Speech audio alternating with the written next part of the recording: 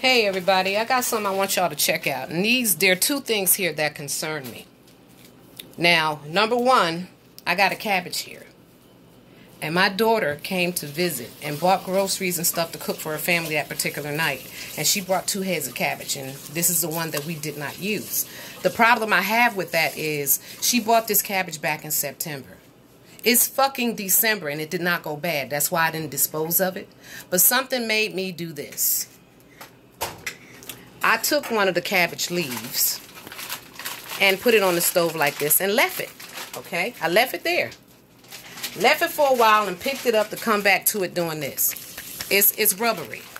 It doesn't even smell like what cabbage would smell like when you when you cook it or burn it or something like that. And then it's rubbery and it, it, it feels like fake, like plastic or something. And uh, that's not cool. And my problem with that is what what do you what you do to it to make it last so goddamn long? Why it didn't go bad in the fridge, and why it's not cooking like it should cook.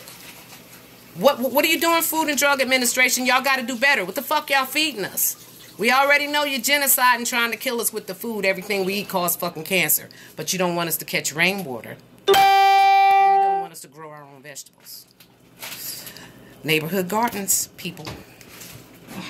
Neighborhood gardens.